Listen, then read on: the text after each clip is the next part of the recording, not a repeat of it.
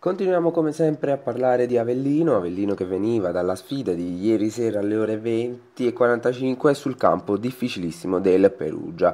Un Avellino che se ne torna a casa con un punto, un 1-1 che vede come marcatori Ardemagni e poi Cerri su eh, rigore, ma sono proprio gli errori arbitrali che non eh, riescono ad andare giù, però al quale mister Novellino non ci tiene a commentare. Prima un gol annullato a Raul Asensio mm, regolare nel primo tempo, dove D'Angelo era tenuto gio- in gioco da un difensore umbro.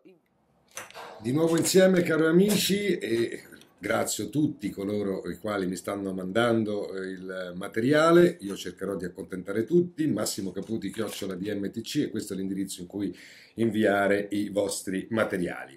Oggi prendo in esame eh, Alessandro Riccio, giornalista radiofonico, giornalista eh, sportivo, che mi manda uno dei suoi resoconti eh, su una partita del campionato di Serie B tra Perugia e Avellino.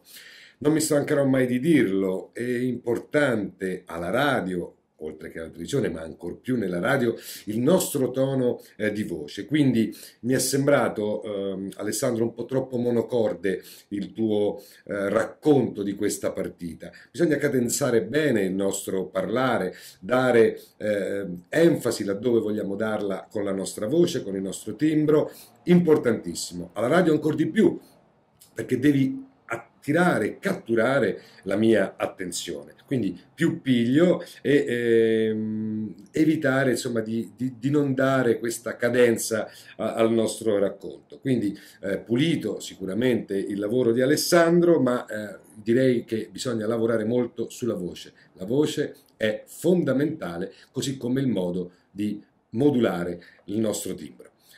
Quindi spero che anche questa volta i miei consigli possano essere stati utili. Al prossimo appuntamento, vi aspetto.